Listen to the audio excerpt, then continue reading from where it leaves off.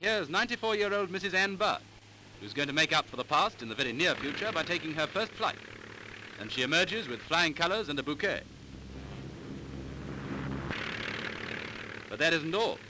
To celebrate the old lady's birthday, she also pays her first visit to the Queen Mary. And what a story to tell Mother when she gets home.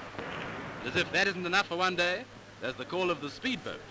And without the slightest hesitation, plucky Mrs. Budd boards a restless, roaring monster that whisks her off in a whirl of spray. And now she's saying that if she has her time over again, things are going to be different.